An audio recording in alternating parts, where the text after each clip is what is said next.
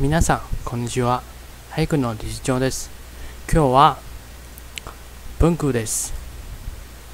今日の文句は、もう十分いただきました。中国語は、已经吃得很饱了。もう十分いただきました。已经吃得很饱了。皆さん、頑張ってよ。よく練習しますよ。じゃあまたお会いしましょう。